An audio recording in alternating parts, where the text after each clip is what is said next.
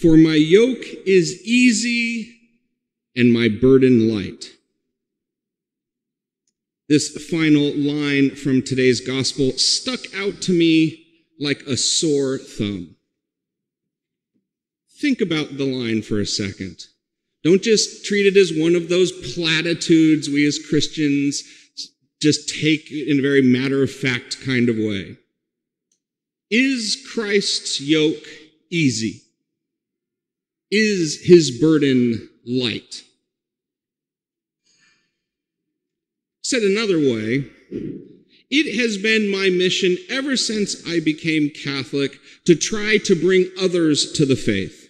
I've spent literally thousands of hours using whatever argument I think might work to help people become Catholic. And not once have I used the argument that Christianity is easy. So what are we to make of this line? My yoke is easy, my burden light. Is Christ deluding us for some greater purpose? And if he's not lying or deluding us, in what way is this true? Because I think if I surveyed all of you without this intro and asked you, is Christianity easy? I wouldn't get a lot of yeses. So I thought about this for a long time this week. And I've decided that this is true in the same way that when you tell a drug addict that their life will be much easier if they get over their addiction. This is true in the same way. We're not telling that drug addict that the act of getting over it will be easy. We're not denying that even after they find some, some uh, path to success, that they won't have risks of relapse and failures. But we're saying that even despite all of those struggles and difficulties, their life will be better and easier once they get over their addiction.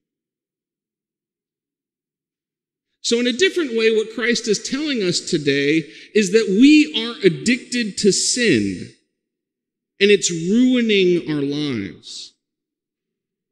And he's telling us though, even though it's difficult, even though it's a struggle, even though we will continue to fall back into sin, our lives will be better and there will be wonderful results if we can master sin in our lives.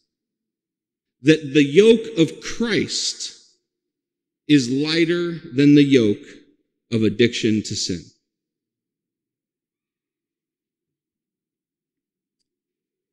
And by way of creating a metaphor, last weekend I hiked Mount San Jacinto in Southern California. I don't know how many of you have been there before, but it towers over the surrounding area. It might be one of the most, even though its peak is not as high as, say, Whitney or some others, in relation to the land around it, it just is way up there. Its elevation is nearly 11,000 feet, so pretty tall. But the flatlands below it in Palm Springs are less than 500 feet. So very different than, say, one of our taller mountains like Whitney, which is 14,000 feet, but the land around it is five to 7,000 feet. So it only stands up six, 7,000 feet, something like that where this stands a good 10,000 feet above the surrounding land. So this ended up being an extremely difficult hike for me. And it, it took everything I had. And in every way I wasn't up to the hike, it was made clear to me. I was carrying the burdens of my dietary sins of my entire life.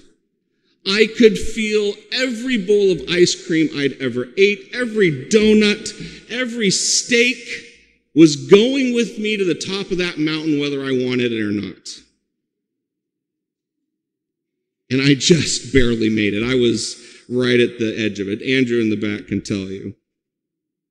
I don't think if it had been a couple hundred feet higher, I would have made it. But standing down at that, at, at that summit, finally having made it, exhausted, I looked down at Palm Springs and how far below it was. But then I looked at something about a little more than halfway up the mountain. The tram that had gotten me a fair amount of the way there. Because you don't actually start the hike at 500 feet. You start it around 8,000. And so you have to do the last 3,000 on your own, which is still plenty. But I did have an 8,000 foot or so head start from that beautiful, wonderful tram. Probably the best 30 bucks I ever spent, frankly. And I think in a certain way, this is the perfect metaphor for following Christ. We are addicted to sin. And we carry those sins with us and they cause us much pain and suffering. And they make our journeys much more difficult. And we often feel alone and overwhelmed by that struggle, even when we succeed. But I think sometimes during that struggle, we forget just how much Christ has blessed us. Christ has protected us. Christ has given us a boost like that tram did. I think we forget just how much we receive from our loving and forgiving God.